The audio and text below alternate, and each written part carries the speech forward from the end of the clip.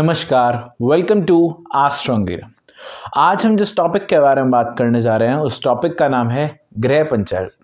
तो गृह पंचायत किसे बोलते हैं? जब भी जन्म कुंडली में, किसी भी खाने में पाँच ग्रह इकट्ठे बैठे हों, उसे हम गृह पंचायत बोलते हैं।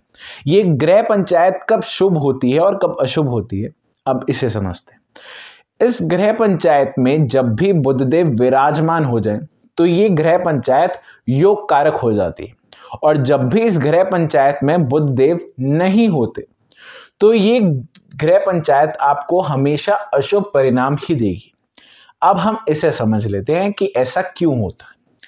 बुद्धदेव जब भी ग्रह पंचायत के अंदर होते हैं तो बुद्धदेव सारे ग्रहों को कहीं ना कहीं घुमाते रहते हैं, क्योंकि हमें पता है, जिस चक्कर पे सारे ग्रह घूमते हैं, वो चक्कर बुद्धदेव का होता है। तो बुद्धदेव के कारण उस ग्रह पंचायत में लड़ाई नहीं होती। और जब भी इस ग्रह पंचायत से बुद्धदेव बाहर होते हैं तो इस ग्रह पंचायत के कारण आपके आपस में जो प्लैनेट्स हैं, वो लड़ते हैं। मैं एक एग्ज़ाम्पल के तौर में आपको समझा देता हूँ। आप कोई भी पाँच ग्रह ले लें और उनको किसी एक खाने के अंदर रख दें। वो कभी भी पाँच ग्रह आपस में मित्र नहीं हो सकते। उनमें से कोई एक हमेशा शत्रु निकल ही आएगा। इस चीज़ को हमेशा ध्यान में रखें। इसलिए ग्रह पंचायत के वक्त बुद्ध देव ग्रह पंचायत में अगर होते हैं तो ग्रह पंचायत बुद्ध देव के कारण शुभ हो जाती है, क्योंकि बुद्ध देव सारे ग्रहों को कहीं ना कहीं अपने चक्कर में घुमाते रहते हैं और बुद्ध देव अपना कार्य आसानी से कर लेते हैं।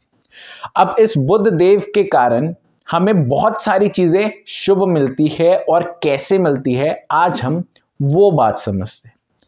तो आज मैं आपको बताऊँगा बुद्ध के भेद के बारे में। ये बुद्ध का सबसे इंटरेस्टिंग कॉन्सेप्ट है लाल किताब में। अगर आपको बुद्ध का भेद समझ आ गया तो आप लाल किताब में बुद्ध को डिकोड आराम से कर सकते हो। क्योंकि लाल किताब में ये चीज़ लिखी गई है कि आप सारे ग्रहों को कहीं ना कहीं जज कर सकते हो, लेकिन बुद्ध को कभी भी जज नहीं कर सकते कि वो अच्छा है, बुरा है।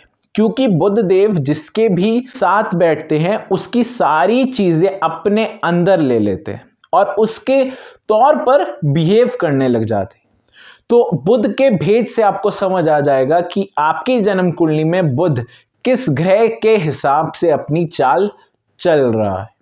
क्योंकि बुद्धदेव कभी भी अपना दिमाग खुद नहीं लगाते। क्योंकि बुद्धदेव, हम, पता है कि बुद्धदेव बच्चे हैं। और बुद्धदेव हमेशा किसी ना किसी चीज़ या किसी ना किसी प्लैनेट को अडॉप्ट करते हैं अपनी नेचर के अंदर। तो इस ग्रह पंचायत के वक्त भी बुद्धदेव किसकी तरह अपने चाल चल रहे हैं, इस चीज़ को डिकोड करने में बुद्ध के भेद से बढ़िया कोई चीज़ नहीं है। आज हम समझते हैं बुद्ध का भेद। तो बुद्ध के भेद क्या है? आपका बुद्ध जो जन्म कुंडली में है, वो किस तरह से बिहेव कर रहा है या किस प्लैनेट की तरह बिहेव कर रहा है, बुद्ध के भेद से आप पता निकाल सकते हैं। अब बुद्ध का भेद, एक फॉरन एग्जांपल हम जन्म कुंडली के तौर पर सीखते हैं कि बुद्ध का भेद निकालते कैसे तो ये जन्म कुंडली है किसी व्यक्ति की। इनके राहु देव सेकेंड हाउस में इससे पहले मैं आपको एक चीज़ समझा दूँ मैंने स्टार्टिंग में आपको कुछ नंबर्स बताए थे प्लैनेट्स के जैसे सूर्य देव का नाइन होता है चंद्र देव का एट होता है मंगल देव का फाइव होता है शुक्र देव का सेवन होता है बृहस्पति देव का सिक्स होता है बुध देव का चार होता है शनि देव का तीन होता है राहु देव का दो होता है और केतु देव का एक होता है ये टक्कर के वक्त भी सेम पावर्स हैं और इनकी ये चीज़ ध्यान में रखें अब ये चीज़ आपको समझ लेनी है कि इनके नंबर्स क्या हैं सूर्य देव का नंबर क्या है? चंद्रदेव का नंबर क्या है? ये चीज़ सबसे पहले अपने ध्यान में रख लें। और पेन कॉपी ज़रूर ले लें, वरना कैलकुलेशन मिस्टेक्स इसमें हमेशा हो ही जाती है। अगर ये कैलकुलेशन मिस्टेक अगर हो गई तो आंसर सही नहीं आने वाला है। बुद्धदेव किसकी तरह बिहेव कर रहे हैं, ये आपको कभी ज़िंदगी में पता ही नहीं चलेगा। इसलिए कैलकुलेशन मिस्टेक्स नहीं होनी चाहिए इसमें। साथ ही साथ ये नंबर ज़रूर याद रखें। तो राहु देव सेकेंड हाउस में बैठे। पहली बात तो ये निकलता कैसे? ये निकलता इस तरह है कि राहु देव का नंबर है टू और हाउस नंबर, जिस खाना नंबर में वो बैठे हैं, वो भी है टू। तो राहु देव का नंबर मल्टीप्लाई बाय जिस हाउस में बैठे means two into two is four तो ये लिख ले कि राहु देव का नंबर आया चार। इसके बाद आप प्लस करें। फिर सूर्य देव का नंबर निकालते हैं। सूर्य देव बैठे खाना नंबर तीन में। खाना नंबर तीन multiply by nine is twenty seven तो फोर प्लस ट्वेंटी सेवन इसके बाद हम निकालते हैं बुद्ध देव का। तो बुद्ध देव का जो नंबर है वो है फोर और बैठे हैं खाना नंबर तीन में तो four into three is twelve वो भी लिख लें। इसके बाद हम बात करते हैं बृहस्पति देव की तो बृहस्पति देव का नंबर है सिक्स खान नंबर चार में बैठे हैं। तो six multiply by four is twenty four ये भी लिख लें। इसके बाद हम बात करते हैं खान नंबर पाँच में बैठे हैं मंगल देव मंगल देव का नंबर है five five multiply by five is twenty five ये भी लिखें। इसके बाद हम बात करते हैं शुक्र देव की। तो शुक्र देव का नंबर है seven seven multiply by five is thirty five ये भी लिखे। इसके बाद हम बात करते हैं चंद्रदेव की। तो चंद्रदेव का नंबर है eight eight multiply by six is forty eight इसे भी आप प्लस कर लें। इसके बाद हम बात करते हैं राहु देव सॉरी केतु देव की। तो केतु देव बैठे हैं खाना नंबर आठ में। तो खाना नंबर आठ मल्टीप्लाई बाय वन जो कि केतु देव का नंबर है तो एट इसे भी लिखे। इसके बाद हम बात करते हैं शनि देव की। तो शनि देव का नंबर है थ्री मल्टीप्लाई बाय ट्वेल्व इन सारी की सारी संख्याओं को जमा कर ले मींस प्लस कर ले। ये इसका जो सम आएगा, वो आता है 219 219 जो आपका सम आएगा आपका कोई भी अपनी कुंडली पे आप अप्लाई करें, जो भी आपका सम आएगा, उसको डिवाइडेड बाय नाइन कर दें। तो आपके पास जो नंबर आएगा, वो आएगा twenty four point something three three three अब ये थ्री थ्री क्या है? ये आपका रिमाइंडर बच गया है थ्री अब ये जो थ्री रिमाइंडर बचा है आपका थ्री नंबर किसका था? शनिदेव का। तो इस जन्म कुंडली में बुद्ध किस तरह बिहेव कर रहे हैं, वो कर रहे हैं शनि देव की तरह बिहेव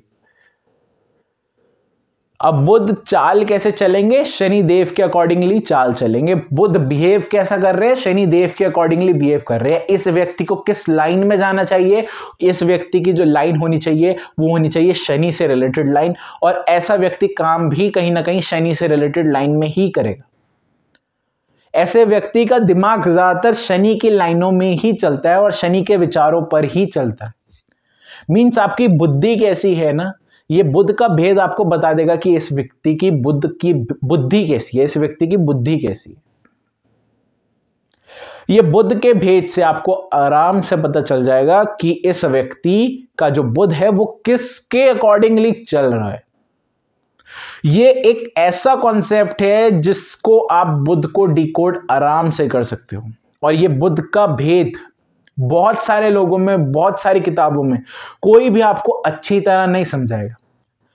आज मैंने बिल्कुल ही सरल तरीके में बुद्ध का भेद आपको बताया और ये बुद्ध का भेद ध्यान रखें, ये आप हर जन्म कुंडली में अप्लाई करके देखिए, आपका बुद्ध का भेद कभी भी गलत नहीं आएगा। लेकिन कंडीशन वन आपकी कुंडली जो होनी चाहिए, वो शोध होनी चाहिए।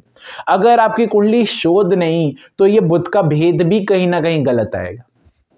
जिस हिसाब से आपके प्लैनेट्स नेचुरली बैठे हैं मींस डिग्री वाइज जब चेक करते हो, आप कुंडली शोध करते हुए, उस हिसाब से जहाँ बैठे हैं, उस हिसाब से जब आप बुद्ध का भेद निकालते हो तो वो बुद्ध का भेद एकदम एक्यूरेसी के साथ आपका अप्लाई होगा। इस चीज़ का सदैव ध्यान रखें। तो आज के लिए इतना ही। धन्यवाद।